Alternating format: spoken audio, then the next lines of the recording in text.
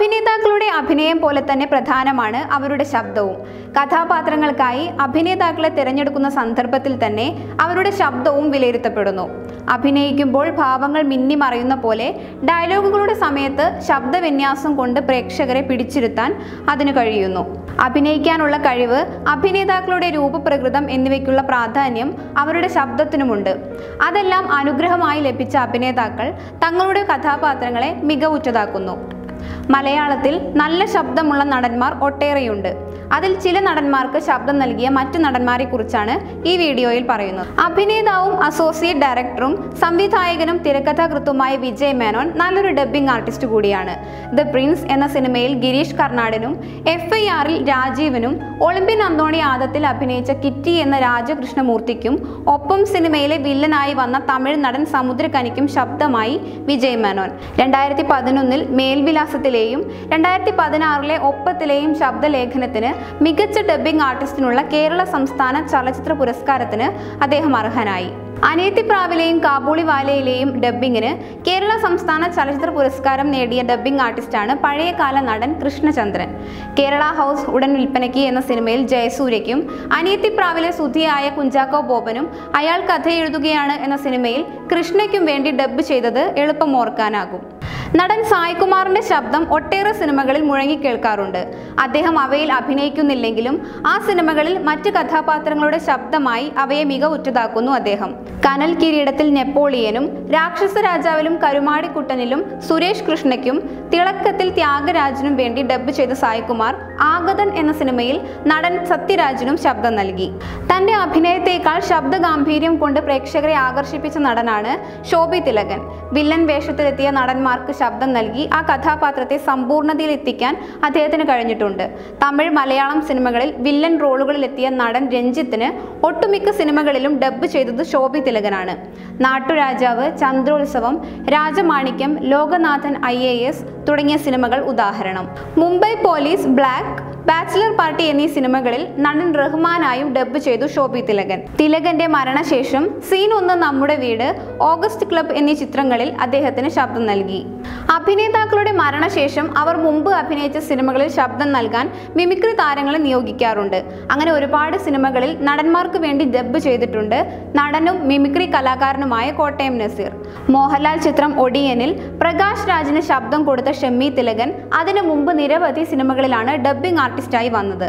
ആയിരത്തി തൊള്ളായിരത്തി തൊണ്ണൂറിലെ കടത്തനാടൻ അമ്പാടി എന്ന സിനിമയിൽ പ്രേം നസീറിന് അദ്ദേഹം ഡബ്ബ് ചെയ്തിട്ടുണ്ട്. കുറ്റപത്രത്തിൽ ബാബു ആന്റണിക്കും കൗരവറിൽ വിഷ്ണുവർദ്ധനും ധ്രുവത്തിൽ ടൈഗർ പ്രഭാകരനും ദേവാസുരത്തിൽ മുണ്ടക്കൽ ശേഖരനായ നെപ്പോളിയനും ശബ്ദം നൽകിയത് മറക്കാനാകാത്ത അനുഭവമായി പ്രേക്ഷകർക്ക്. സ്ഫടികത്തിലെ കുറ്റിക്കാടനും അക്കൂട്ടത്തിൽപ്പെടും. ബ്ലസ്സിയുടെ മനോഹര ചിത്രം പ്രണയത്തിൽ അഭിനയിച്ച അനുപം ഖേറിന് ഡബ്ബ് ചെയ്തത് നടൻ റിസബാവയുടെ ശബ്ദമാണ്. ഒട്ടനവധി സിനിമകളുടെ ഭാഗമായ അദ്ദേഹം കർമ്മയോഗി നിദ്ര എന്നീ സിനിമകളിൽ തലൈവാസൽ വിജയ്ക്ക് ശബ്ദം നൽകി. രണ്ടായിരത്തി പത്തിൽ വി കെ പ്രകാശ് സംവിധാനം ചെയ്ത കർമ്മയോഗിയിലെ ശബ്ദലേഖനത്തിന് മികച്ച ഡബ്ബിംഗ് ആർട്ടിസ്റ്റിനുള്ള പുരസ്കാരത്തിന് അദ്ദേഹം അർഹനായി. മിമിക്രി താരവും ഗായകനും നടനുമായ മനോജാണ് പുലിമുരുകൻ മധുരരാജ എന്നീ ചിത്രങ്ങളിൽ ജഗപതി ബാബുവിനും ആട് ടൂവിൽ ചെകുത്താൻ ലാസറിനും ശബ്ദം നൽകിയത്. നൂറു കോടി ക്ലബിൽ കയറിയ പുലിമുരുകനിൽ പ്രേക്ഷകരെ വിറപ്പിച്ച ഡാഡി ഗിരിജയുടെ ശബ്ദം അദ്ദേഹത്തിന് വലിയ ജനസ്വീകാര്യത നേടിക്കൊടുത്തു. ഇരുന്നൂറോളം സിനിമകൾക്ക് ശബ്ദം നൽകിയിട്ടുണ്ട് സീരിയൽ സിനിമാ നടൻ ശരൺ. മികച്ച ഡബ്ബിംഗ് ആർട്ടിസ്റ്റിനുള്ള കേരള സംസ്ഥാന പുരസ്കാരം അദ്ദേഹം നേടി. വൈറ്റ് ബോയ്സ് എന്ന സിനിമയിൽ കൗശിക് ബാബുവിന് ഡബ്ബ് ചെയ്തതിനായിരുന്നു അവാർഡ്. ആദം ജോണിൽ നരേനും ബാങ്കോക്ക് സമ്മറിൽ ഉണ്ണി മുകുന്ദനും എ ബി സി ഡിയിൽ ടൊവിനോയ്ക്കും വേണ്ടി അദ്ദേഹം ഡബ്ബ് ചെയ്തു.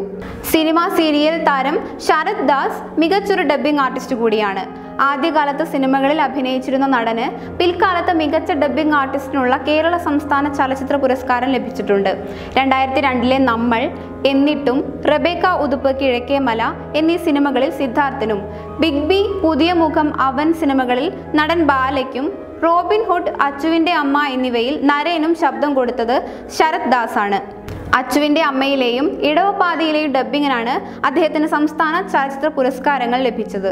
അഭിനയ രംഗത്ത് സജീവമായി ഉണ്ടായിരുന്ന നടൻ വിനീത് പൃഥ്വിരാജ് ചിത്രം ലൂസിഫറിൽ വിവേക് ഒബ്രോയ്ക്ക് നൽകിയ ശബ്ദം പ്രേക്ഷകരെ ഞെട്ടിച്ചു കളഞ്ഞിരുന്നു. ബോബി എന്ന കഥാപാത്രത്തിനാണ് അദ്ദേഹം ശബ്ദം നൽകിയത്. ഇതിന് സംസ്ഥാന പുരസ്കാരത്തിന് അദ്ദേഹം അർഹനായി. മരക്കാർ അറബിക്കടലിന്റെ സിംഹത്തിൽ അർജുൻ സർജയ്ക്ക് വേണ്ടിയും ഇദ്ദേഹം ഡബ് ചെയ്തിരുന്നു. വൈശാഖിന്റെ മല്ലു സിംഗ് എന്ന സിനിമയിൽ പ്രധാന കഥാപാത്രമായ ഉണ്ണി മുകുന്ദന് ശബ്ദം നൽകിയത് നടനും റേഡിയോ ടി വി അവതാരകനുമായ മിഥുൻ രമേശ് ആണെന്ന് അറിയാത്തവരുണ്ടാകും. ആ സിനിമയ്ക്ക് മുമ്പ് നമ്മൾ ശിവം ചക്രം അപരിചിതൻ ക്രോണിക് ബാച്ചിലർ ഗ്രാമഫോൺ എന്നീ സിനിമകൾക്കും മിഥുൻ രമേശ് ശബ്ദം നൽകിയിരുന്നു.